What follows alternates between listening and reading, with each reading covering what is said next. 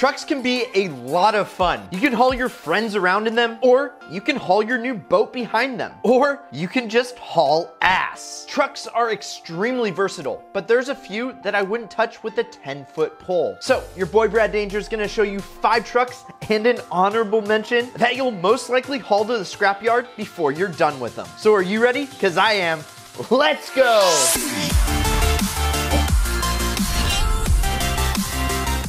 They started making Chevy Colorados in the early 2000s, and you can pick them up for cheap. Just check out this one for 2,500 bucks. Wait, zoom back in on that photo. Are you kidding me? Look at that rust. Ugh. And that's only one of the problems with these early Colorados. They like to rust. Not only would the bodies rust, but also the frames. Now we may have to cut Chevy a little bit of slack because this was their first crack at the Colorado. But promise me that it will be somebody else's problems because these things were riddled with problems. So you could get them in either rear wheel drive or four wheel drive with both a manual and automatic transmission. Plus you could get the 2.8 liter as standard or the more powerful 3.5 liter. Now the big issue was that these engines just weren't reliable. And the check engine light would come on so much that if it wasn't on, you'd wonder if it was burnt out. Yeah, one of the biggest issues with these engines were misfires. Now, these were most likely due to the worn valve seats, which in some cases would reduce power. There was also a lot of faulty electrical issues, with the worst one being the AC blower not working because of a failed resistor. And that's just the beginning. If that's not enough to scare you, then I don't know what is. Because if you still want to buy an early model, it's going to cost you you more than the purchase price real quick with all the repairs you're gonna have to do.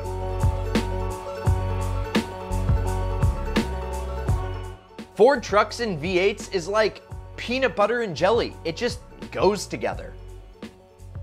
I like peanut butter more than jelly, but yeah, do you like peanut butter or jelly more? Let me know down in the comments.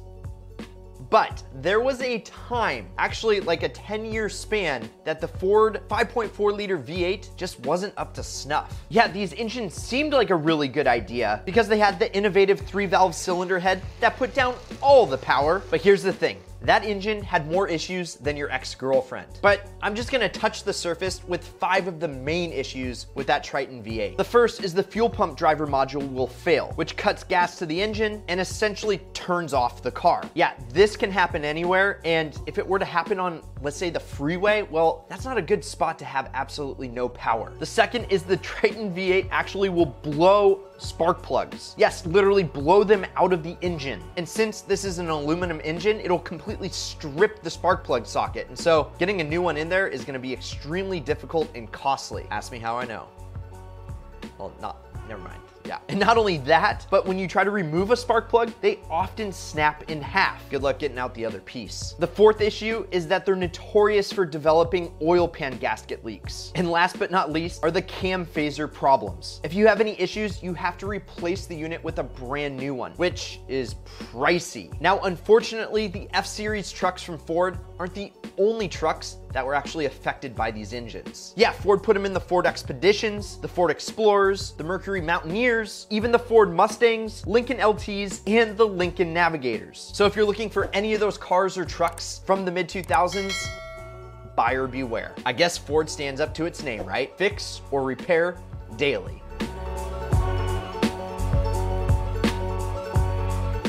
Real quick, if you're curious to see what the other half of this t-shirt looks like, which it is a really cool ideal tee, go click up here and go check it out yourself. And if you want to support the channel, go snag one or snag a couple and help us keep creating this ideal content. Because the next truck on this list that you shouldn't buy is the Dodge Dakota. The Dakota is slightly smaller than its full-size brother, the Dodge Ram. And although it's smaller in stature, it has impressive towing capacity, and the ones that you really want to stay away from are the ones built from 2000 to 2006, which in 2000 was the first year of the Dakota Quad Cab, which was quite the concept back then, and it seems like any truck that you buy today has four doors, so it was actually a really good idea. But to make room, it only has a five foot three inch bed, which won't hold everything that a normal pickup truck would. So if you're gonna be hauling bigger items, then a mid-sized truck just doesn't make much sense for you. Now, a lot of these Dakotas were sold with the V6 engine, which not only drank a ton of gas, but it also hampered the Dakota from being a truck. Not only would the exhaust manifold bolts break, but also the cam sensor failure would go out, which means you either wouldn't be able to start the truck or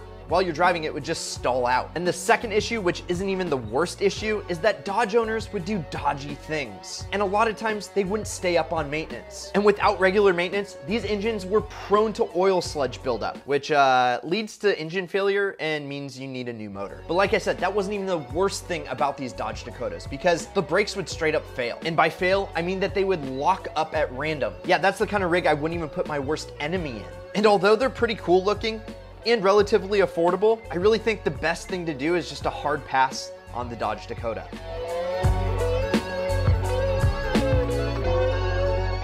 It might just be me, but the Chevy Avalanche was the ultimate bro truck. Just look at this thing. It's like they took a Chevy Suburban, lopped off the back, threw it down a hill, and caused an avalanche. Wait, I don't think that's how they came up with the name. But Chevy did come up with their own class for this thing. They called it a sport utility truck. And it's the first and last of its kind, which is a good thing because I don't even know if this thing actually qualifies as a truck. And here's the thing, there's several issues with this sport utility truck that you just don't want to deal with. The early models had problems with the paint on the cladding, which is definitely an issue if it's your bro truck. And a huge problem was that actually the speedometers would malfunction. And not only could police officers see this monstrosity coming from a million miles away, but then you're going too fast because the speedometer doesn't work. Yeah, you either get a ticket for speeding or you get a ticket from the taste police. And then there was a plethora of problems with the engine and transmission. Yeah, early models suffered from complete transmission failures. And later engines used to drink oil like it was their job. So I don't care how cool you think you are, definitely pass on the Chevy Avalanche. And now it's time for that honorable mention, baby.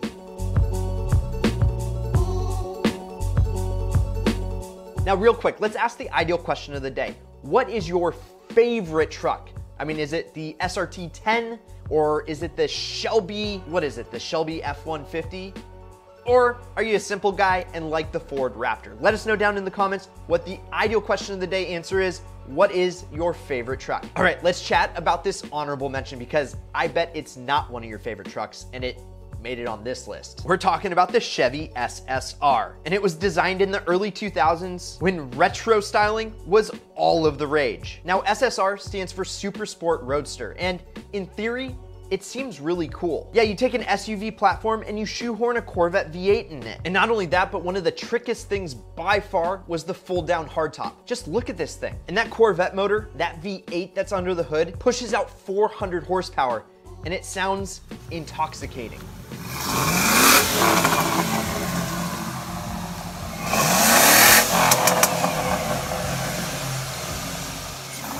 In theory, this is the modern hot rod that everybody should have been running to their dealerships to buy. And yet, that couldn't have been further from the truth. First, the cabin was so tight it barely fit two passengers. And something that you want in a truck is to be able to haul both cargo and other people, and two passengers just isn't gonna cut it. Plus, straight up, this thing just isn't a truck. Plus, as my mom's always told me, looks can be deceiving. And although this thing has the silhouette of a truck, the truck bed is less than usable. Yeah, this thing isn't gonna carry any of your IKEA furniture home, and it hauls next to nothing. The SSR is simply not a truck. And kind of like the Avalanche, it's in its own class, but it's a class that you just don't wanna even look at.